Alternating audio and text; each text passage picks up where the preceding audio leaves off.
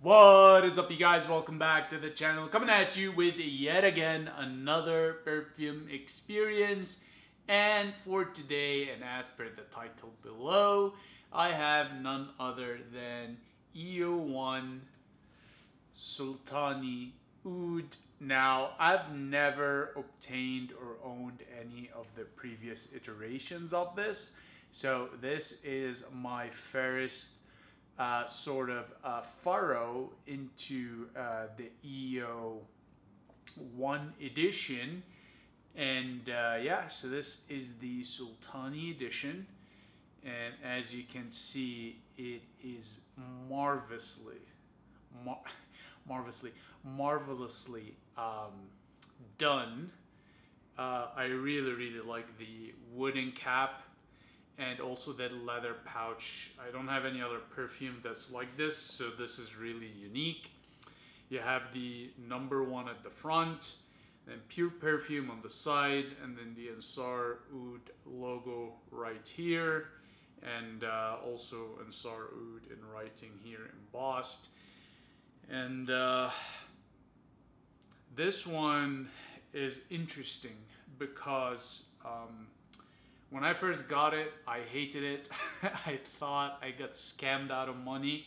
Uh, the only other Ensar Oud I have in my collection that I felt the same way about with Oud Royal. Uh, but then I've realized that some of the oils, because these are pure essential oils, uh, when they do get shipped over here by DHL through air, I think they're um, shipped in pressurized compartments and it ends up affecting the molecular structure possibly of the oil.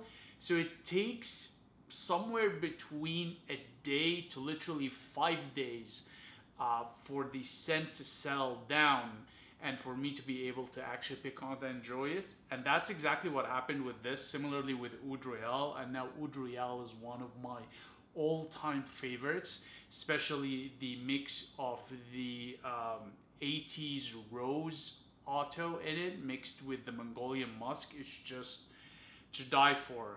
And this has achieved that sort of um, affinity with me, if you wish. Uh, so yeah, I just one thing before we get started, if you do decide to pull the trigger on this, do not judge it the next day. Give it at least a week for it to rest after you receive it before you uh, apply it. And I'm gonna give you away my favorite thing about this is the Taifi rose in here. My God, it is just heavenly, majestic, regal. We'll get into this, all right? We'll get into this. Uh, so, what we'll do today is we will go over the using and the notes off of the Ensar Oud website, and then I'll do a perfume experience with you guys. We'll see how far I can go in terms of implementing the scent because my allergies are kicking in. And uh, yeah, I've been trying to take it easy with all the essential oil applications, but I'll do that for you guys. But before we get started, and as per tradition on this channel, make sure to grab your favorite snack, your favorite bevy, or as in my case, cafe and sit back, relax, enjoy the awesomeness that's about to head your way. All right. All right, all right, all right. Okay, I'm excited for this one. I ain't gonna lie. All right. So, E1 Sultani. Leather and oud go together like king and crown, and there's no sweeter spot between the rustic allure of Ensar's artisanal, often mad oud world and popular perfumery than this odorlicious addition to the queer or cure tradition. a rugged aroma that makes you wonder if Hemingway just lit up a Cuban or if Churchill's in town. I, listen, I'm gonna say this, Professor, before we continue here. The tobacco note in here is so, so nice, but you it takes a few hours uh, into the dry down for it to really come through.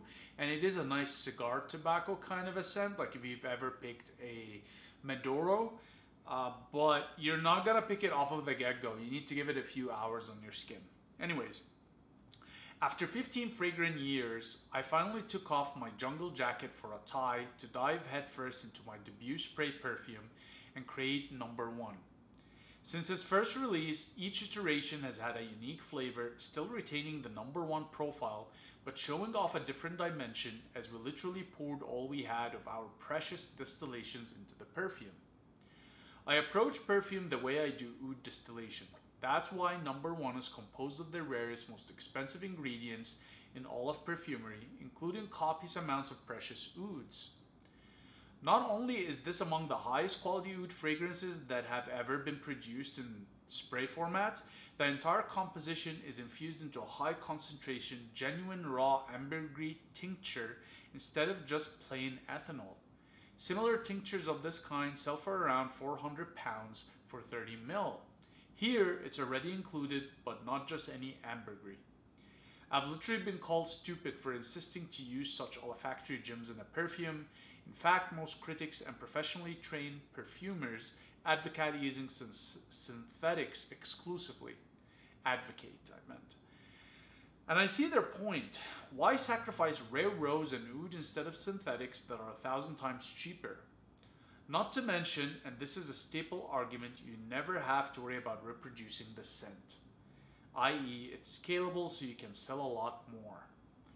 I insist on these insanities because to me and people like me, there is a difference. You smell low grade or lab made oud, aka the oud note, and all you can do is laugh at how it's being compared to real high caliber oud. Most can't even tell, but to any oud novice, the difference is red and blue. Novice or novice, okay. Number one lets you exude wafts of a tobacco heavy, old school leather jacket aroma with an unmistakable Don Corleone kiss my hand Compagno Estime. Who the fuck writes these? I, they're, I think they're trying to come across as being cool, but they're so, so cheesy. Okay. Subtle, but not soft, with a base that's all oud and vintage horse saddle leather. The recent buzz around the OG number one is partly because many frag heads missed out on it, sold out in 2018 but also because those who stashed away a bottle and smelled it again recently were so blown away by that first edition. The OG came in Habib's hand-worked full-grain Italian calf leather topped with a square wooden cap and boasted a fusion of certain ouds that gave it its unique edge. Well, how's this? Not only does this edition match the OG composition as close as humanly possible, I actually set out to make it even better. How? For starters, two of the key aromatics have been upgraded. You've now got the Sultan's own vintage rose otto dating back to the 80s, drunk on a massive dose of vintage SQ oud. I chose specific batches of my my my tikina, my tikina, and Indian Antel oud to create a fusion that most resembles the OG's oud profile. Except the oud component in this edition is even richer and two decades older. In this edition, as well as the OG, I chose Agallocha ouds because of how well their sour spicy warmth goes with the number one's tobacco leather profile. Compared to the OG though, this edition features objectively better and more mature oud oil. The result is not only an oudier number one, but because of the specific ouds used and the more diffusive quality of Ashta Ifi Otto, that leather jacket cigar suave smells at once more husky and polished style. And polished stylish. Weird English, but okay. And it all comes steeped in the late Sultan Qaboos's own vintage ambergris.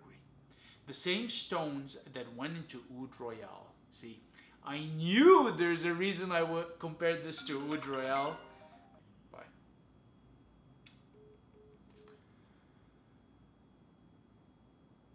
Okay, so uh, now that the interruption is gone, and it all comes steeped in the late Sultan Qaboos's own vintage ambergris, the same stones that went into Oud Royale.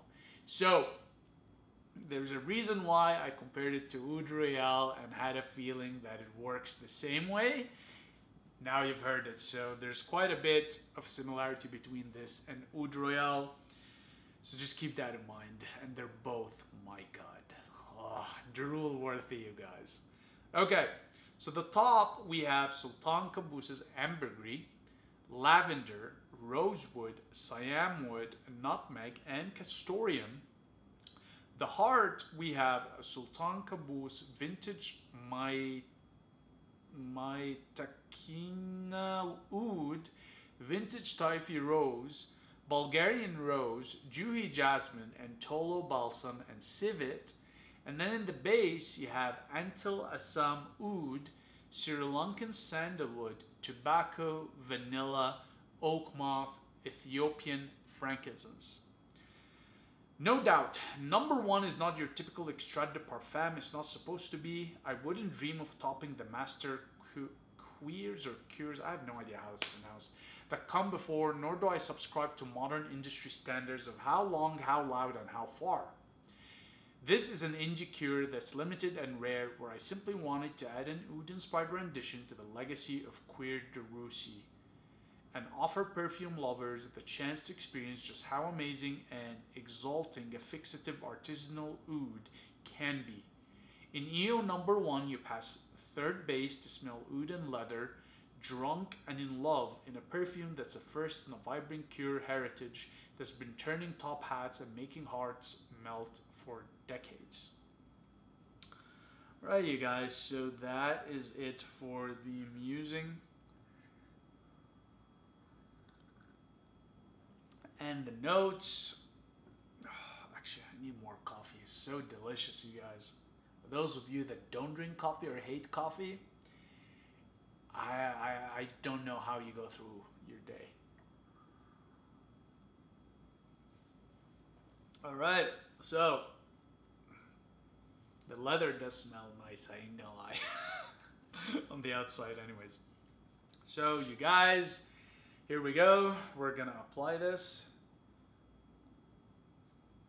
All right. I just need a little bit to be honest, you guys, because like I said, my allergies are going through the roof, and uh, yeah.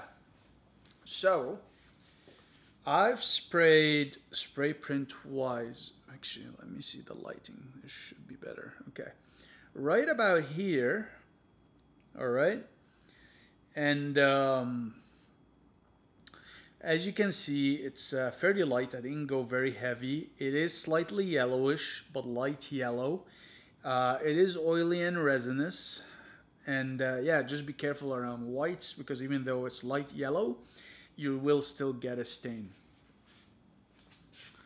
All right, so one of the things that I was actually talking to my father the other day, and I was talking to him about this, and I told him, listen, I have the artisanal version of one of your favorite perfumes ever. And by the way, one of his favorites is Kouros or Kouros, which is a civet based perfume from the 70s or 80s, I believe. And this reminded me a lot of it. It's not as strong and potent as Kouros, but it's very close to it in a lot of ways because this does have civet in it too. Uh, but with that said, it's already wafting towards you guys. Oh my god, this is like sexy oud right here. Woo! Oh, okay. this is. Wow! God damn! I love the tobacco in here too. Like, I know I said it doesn't really come in until the dry down, but God, oh! Dude, man, I fucking hate this house. Really do. They're taking so much of my money. It's fucking stupid. It's so good, you guys. I mean, it's it's masculine, elegant, uh, like bad boy vibe to it, but very classy too. The civet in here is undeniably civet, but there's no urinal note, there's no pissy note, it's not animalic whatsoever. Actually, let me go through the notes with you guys. So, I can tell you what is in it and what is not. So, ambergris. So you do get this fresh, fizzy, oceanly note to it. Lavender. There is lavender in here, and thank God it's undertoned. Uh, because I do have Tibetan musk from EO, which has lavender. And the lavender in it is so loud. And I love Tibetan musk, but it, it triggers my allergies like it's nobody's business. So I love lavender, but I'm so glad that it's toned down here. Uh, rosewood, Siam wood, I have no idea what these smell like, so I can't comment on that. Nutmeg, I know what it smells like. And yes, you got this beautiful, beautiful nutmeg. I use nutmeg in my own cooking, you guys. I added the hot chocolate too to my oatmeal, and it's just, I love nutmeg. Castoreum, now, I don't know what it smells standalone. I have different perfumes with natural castoreum in it, and uh, my understanding is that it's very perfumey, naturally perfumey. So, you know what? The perfume smells perfumey, so I'm assuming it's it's doing all right in there. Then you have the uh, Mytikinia Oud, so that's in the heart now, and this is definitely a really really nice oud in here, you guys. It's just fantastic. The, the vintage Taifi rose, Bulgarian rose, uh, and Juhi jasmine. So let me tell you something. The Taifi in here, you guys, it is so, so, so. Oh my God, it's so heavenly. And and the beauty of it is that it doesn't have this jamminess to it. It doesn't have this bite, like this sort of stab you in the nose bite that some rose oils have. It's just very delicate, soft, tender, like kind of a, I don't know, is gonna sound weird, but you ever touch a baby's skin? this is what comes to mind when I smell this. I don't know. It's just as delicate as a baby's butt, okay? And I've changed a lot of diapers, trust me on this one. Wow. Okay, Bulgarian rose. Um, I mean, sure. Juhi jasmine. Yeah, you do get the jasmine in there. Uh, Tolu balsam, so I'm not too sure. And then the civet. And like I said, the civet here is probably one of the best civets I've ever smelled. It reminds me a lot of the, um, God, I have another Ensar Oud with civet in it the civet musk oud combination. I can't remember the name of it right now. It's like off of the top of my head, but the civet in here is uh, much more subtle compared to that virgin, but it's also so so good, you guys. Okay, and then in the base you have Antil Assam Oud, so I know the oud. Then there's Sri Lankan sandalwood. Yeah, so you do get this creaminess sort of calming effect of sandalwood. Tobacco, dude, the tobacco in here I'm not a big tobacco note fan, but the tobacco in here, you guys, trust me, is so, so good. And it's not the sickening, overpowering tobacco. Um, for example, and it's not bad at all, but depending on my day or mood or my allergy sensitivity, I find that the tobacco in the Homeros or Homeros uh, perfume edition can be a bit overpowering, but here it's just so well balanced and it's not a, an ashy tobacco. It's more of a you're lighting up a fresh cigar kind of a tobacco smell. It's it's just so so nice. Then you have vanilla. Yes you do get vanilla in here. There's definitely a gourmandish touch. Oak moss is definitely there for sure and ethiopian frankincense so yes. So overall, this, you guys, is just such, such a great scent. Um, I'm gonna say, like, it's it's very classical scent in the way it smells. Um, it's very, it's very, what's the word I'm looking for? My brain is not functioning. More coffee. It's a very nostalgic. Yes, that's the word I'm looking at. yeah, I'm thinking of. It's very nostalgic, but also new. So it's nostalgic, familiar, but also new and unfamiliar, if that makes any sense. It's a play on an on a pre-existing DNA, uh, and the play doesn't come from changing the notes as much as the ingredients projecting the notes.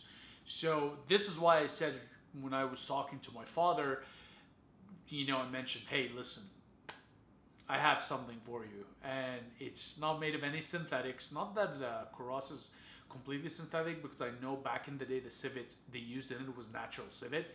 This is why the spray nozzles always had a yellow stain on them when you use them, is because of the civet.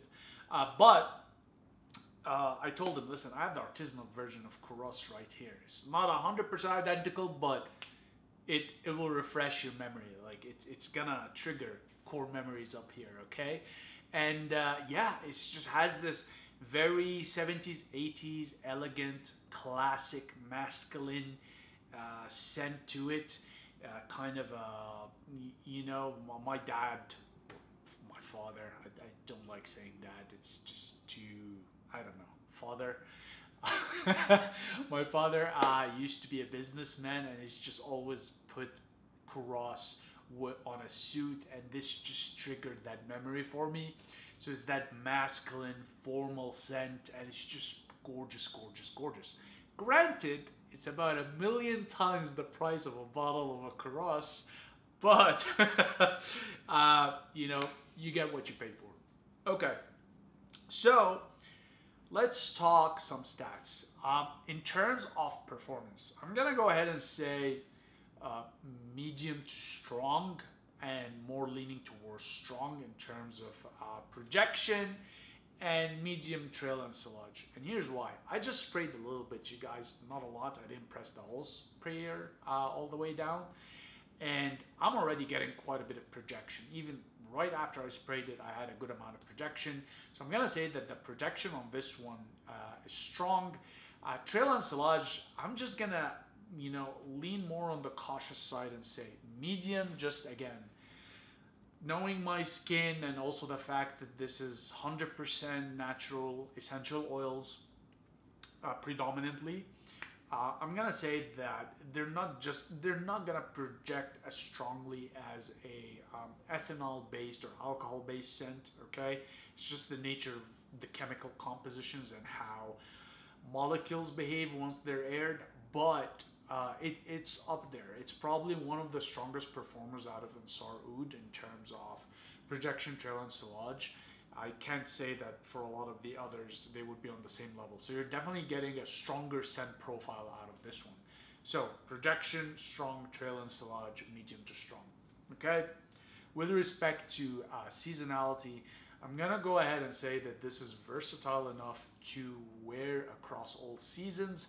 However, I will say that this one is a bit on the cooler side, even though there's oud, sandalwood, and whatnot in it.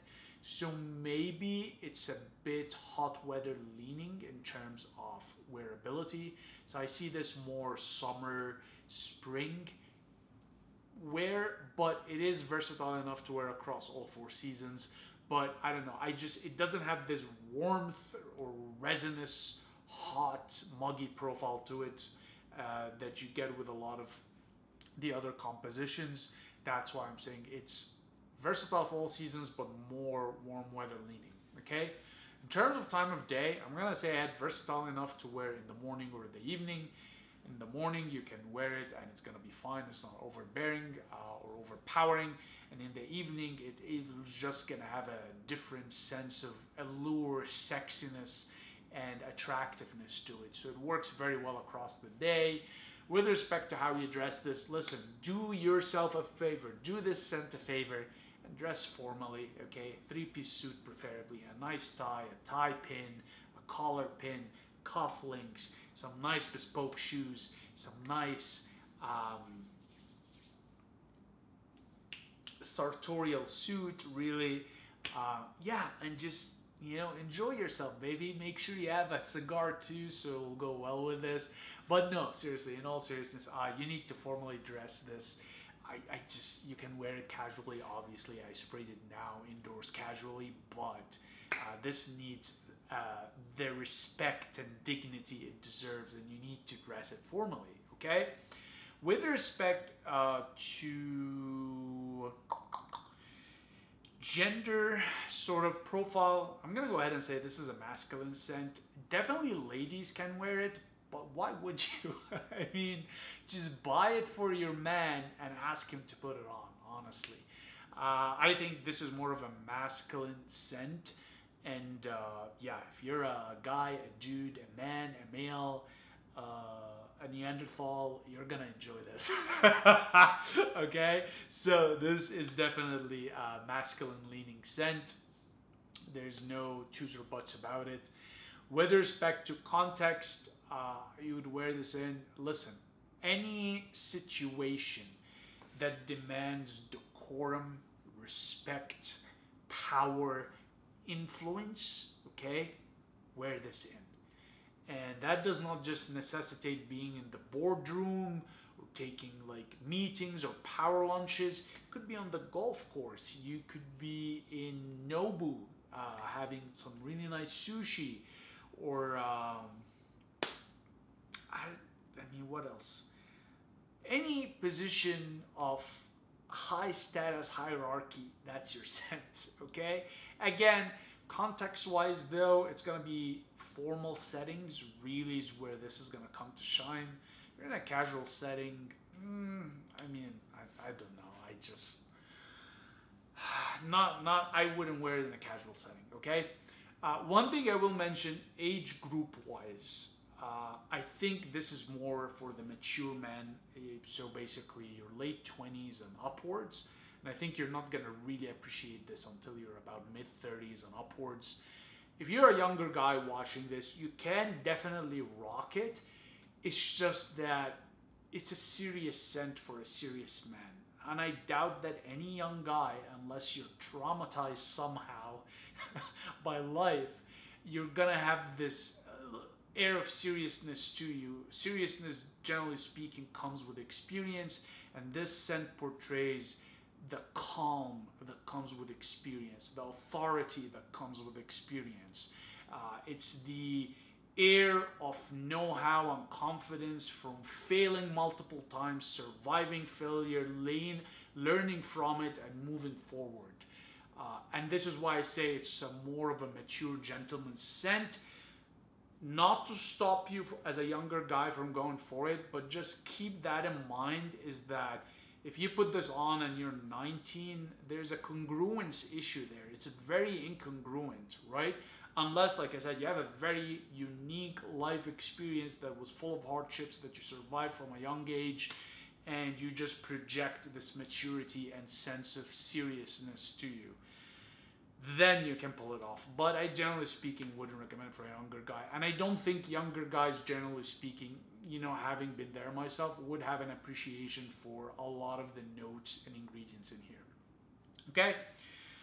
With that said, you guys, would I recommend Ensar Oud number one Sultani Oud edition? 100% yes. Get your nose on it, get your wallet on it, cop it. You will not regret it. This one you know, is really, really, really uh, enjoyable for me, along with Oud Royal, which is not a surprise. Uh, just if you get this or Oud Royal, again, make sure to rest it at least five days after you receive it. I'm telling you, if you spray it beforehand, I'm not sure what it is about shipping, but you don't really get the most out of the scent until it rests. With this one and Oud Royal in particular, it needs to rest for whatever reason. Uh, so yeah, just make sure to let it rest for about five days and then relish in the... Right, well I think my camera just stopped recording, so I'm assuming it's telling me to wrap it up. Uh, anyways, uh, so yeah, relish in the majesty of this gorgeous, gorgeous scent. Uh, all right, you guys, I'm gonna wrap it up here. As per usual, very much appreciate your time and attention, and I'll see you in the next one. Cheers.